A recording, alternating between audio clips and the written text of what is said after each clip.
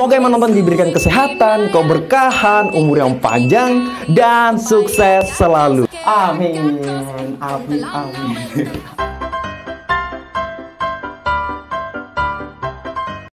Bogu Warlord. Tuhan Bogu. Itu, apa dia juga Bogu? Aku tidak pernah melihat yang yang seperti sebelumnya.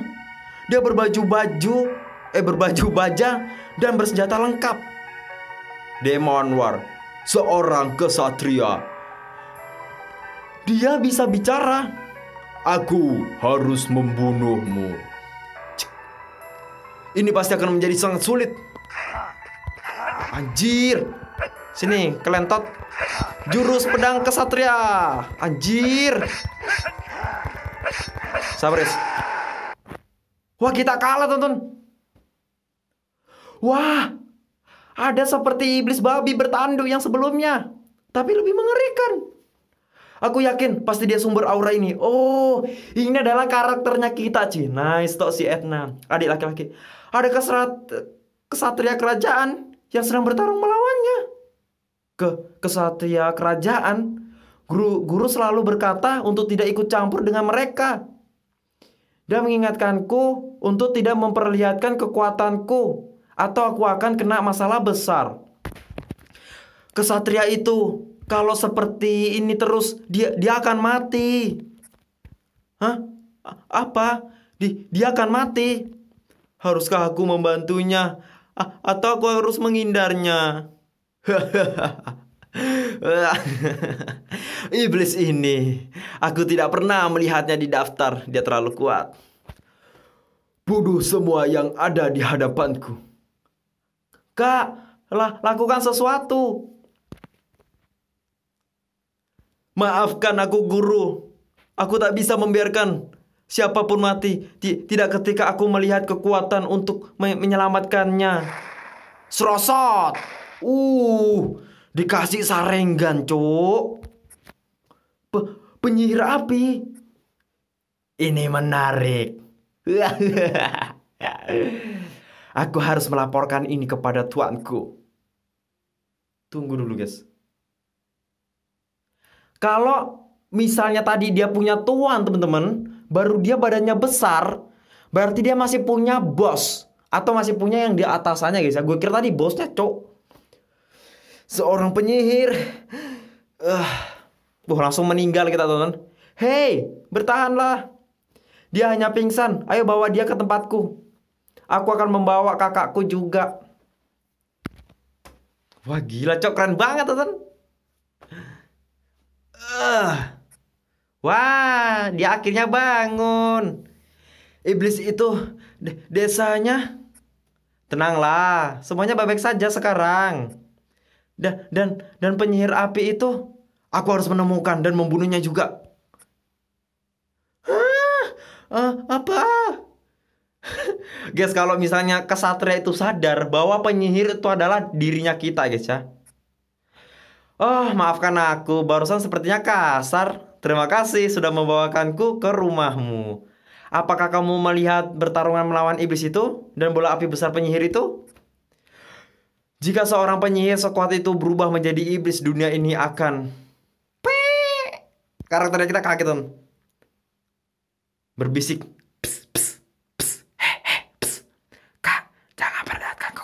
di sini.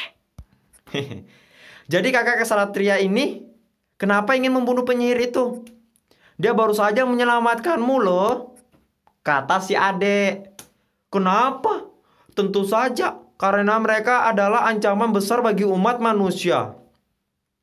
Pada dasarnya, mereka semua adalah iblis yang menyamar sebagai manusia. Cepat atau lambat mereka akan membangkitkan iblis dalam diri mereka. Ta tapi mereka yang kau sebut penyihir itu juga manusia, bu bukan iblis. Selama hati mereka tidak jatuh pada kegelapan, mereka akan tetap menjadi manusia seumur hidup mereka. Kau tahu apa? Jatuh ke dalam kegelapan adalah sifat alami manusia. Tak ada yang bisa menghindari bagaimanapun upayanya. Wah, sudut pandang yang suram. Tak heran mereka tak pernah akur dengan para penyihir. Kata si Ade. Eh kak, apa, apa yang kamu lakukan kak? Di, dia marah.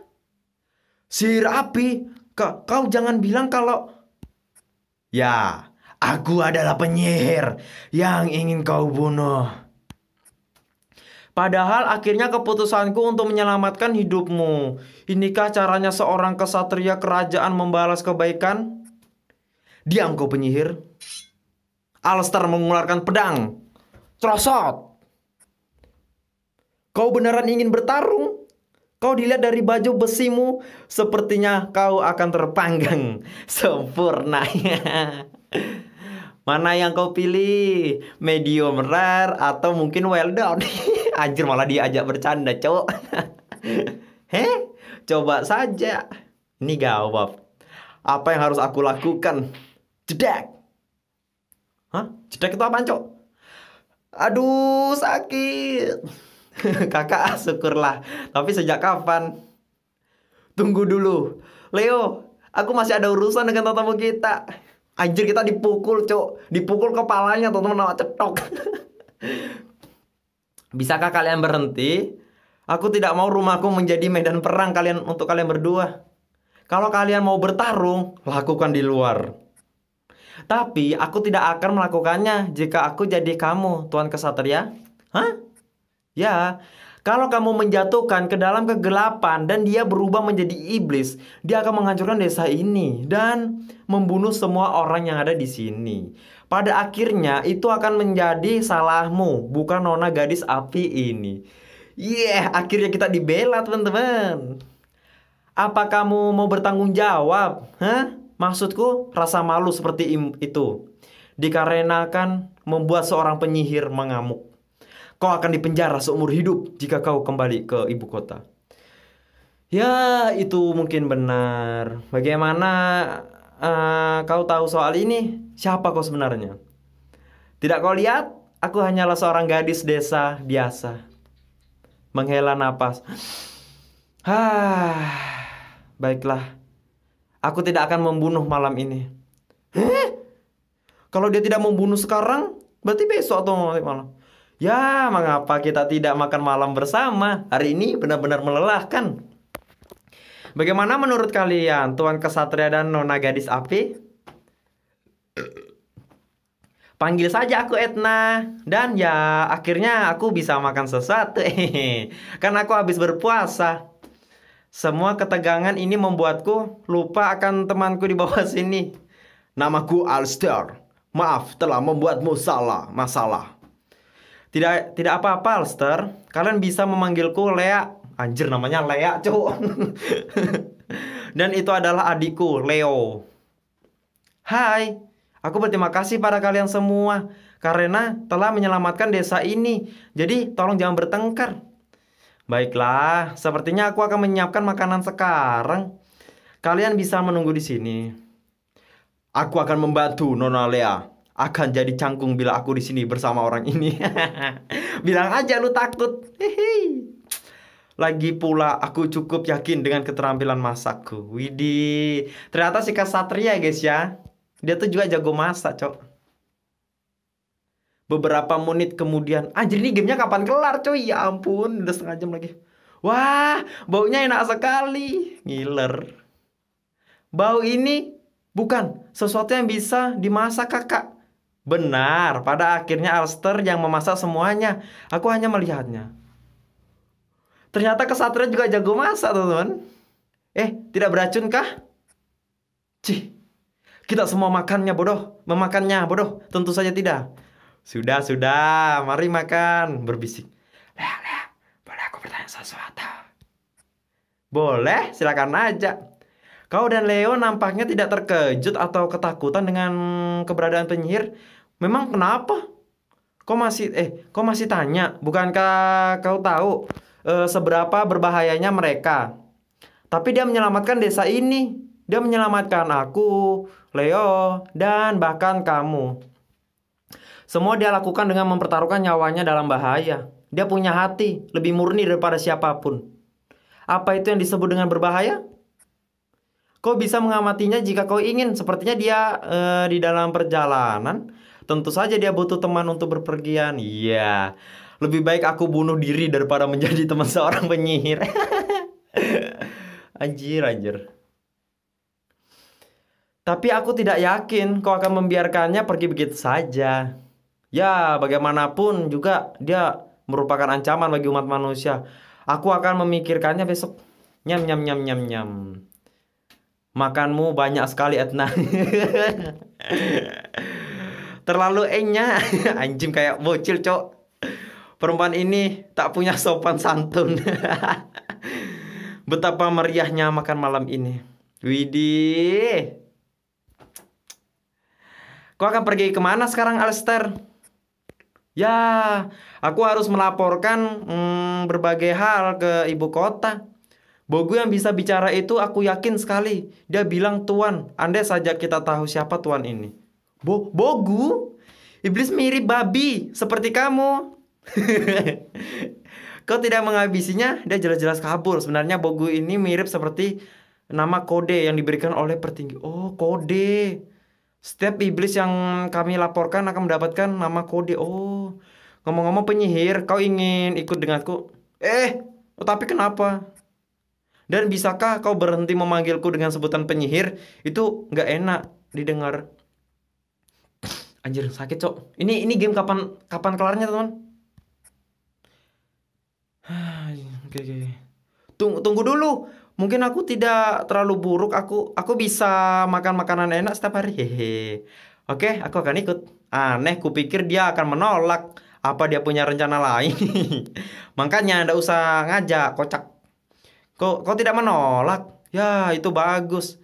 Aku tidak perlu meringkusmu dan menyeretmu. Kau tak belajar dari pengalamanmu ya? dan kita mengeluarkan apa guys ya? Mau lakukan sekarang? Tapi dia yang mulai duluan. Baiklah, aku aku akan ikut denganmu asal kau kau bisa memenuhi tiga syarat. Katakan. Pertama, Aku minta makan tiga kali sehari dan kau yang akan memasakkan semuanya. Hmm, itu memang sudah menjadi rutinitas aku. Aku hanya perlu mengadakan porsinya. Dan dilihat dari kemampuan dan sifatmu paling kau hanya bisa membakar daging. Oke, oke, siap, siap, siap, siap. Aku tak mau makan makanan seperti itu. Jadi, aku tak akan masalah dengan syarat pertama. Orang ini tajam sekali. Kedua, Aku belum bercerita kepadamu tentang ini. Oh iya guys, kita mencari adik laki-laki kita yang hilang guys ya. Tunggu, ada adik laki-laki dari seorang penyihir yang bercanda. Seorang laki-laki yang berdarah campur akan mati kurang dari 10 jam setelah kelahiran. Hah? Entah kenapa tubuh mereka tidak bisa menahan kekuatan iblis. Dia agak sedikit spesial.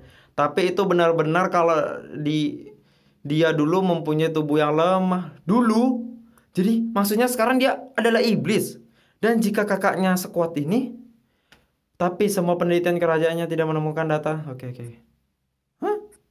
Ya, sekali dayung. Dua pulau terlampaui. Aku aku tak bisa membiarkan iblis yang berbahaya bebas berkeliaran. Kau ingin aku untuk membantumu mencari beberapa penunjukan lainnya? Aha, baiklah. Ketika kita sampai di ibu kota, mulai mencari ada sebuah tempat di mana semua informasi dikumpulkan. Aku tak ingin mengatakan ini, tapi aku masih berhutang nyawa kepadamu sekaligus semua warga di desa yang telah kau selamatkan. Kode kesatriaku tidak akan membiarkanku untuk tidak membalas budi padamu. Jadi apa syarat terakhirmu? Wah, tadi sangka ternyata kau orang yang baik.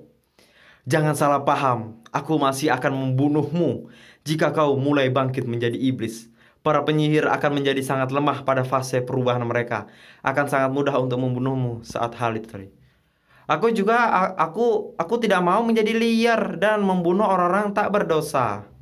Jadi, jika waktunya telah tiba, aku mohon bunuh aku ketika aku masih berwujud manusia. Ya, jangan bilang nanti kita bad ending. Dan menginginkanku tentang gadis itu sedikit. Terima kasih Tuan Kesatria. Lihat kan kalian berdua langsung akur. Asal kau tahu saja Lea, aku menemaninya untuk mencegah kebangkitan iblisnya itu saja. Ya, apa pun alasannya, kalian melakukan perjalanan bersama untuk jaga-jaga saja. Butuh apa pun tinggal di, eh, datang saja padaku. Aku akan membantu dengan senang hati. Mungkin memang gak kelihatan dari penampilan, tapi aku sebenarnya seorang pandai besi. Uh, ternyata adiknya Lea yang bernama Leo ini adalah pandai besi, teman-teman. Mantap. Terima kasih Lea, Leo. Aku akan mengunjungi tempat ini lagi kapan-kapan dan sekarang menuju ibu kota. Kau belum memberiku syarat yang ketiga? Eh lupa, lupakan saja. Syarat terakhir itu tidak begitu penting sekarang. Baiklah. Ayo, ayo labor. Ha, akhirnya teman-temanku sekalian sudah selesai. Anjir, 40 menit gue ngebacot coy. Ya ampun, cok. Oke guys, dan mungkin kita sampai di sini dulu teman-temanku sekalian dan ya pasti guys kalian jangan lupa kalian like, komen dan ya pasti ya kalian subscribe ya pasti teman-teman kalian jangan lupa klik lonceng ya ya. Tuing karena lonceng kalian adalah bahagia saya. Cuy dan ya pasti aku terima kasih kepada kalian semua yang sudah menonton videonya dari awal hingga akhir. Apalagi kalian menonton iklannya itu adalah bentuk support dari kalian ke gue guys. Aku sama syukur dan terima kasih kepada kalian semua teman-temanku sekalian. Dan yang pasti teman-teman kalian mau komentar gak usah malu, gak usah sungkan. Yang penting penting. Sopan ya guys ya. Itu doang cuy. Dan yang pastinya bye dadah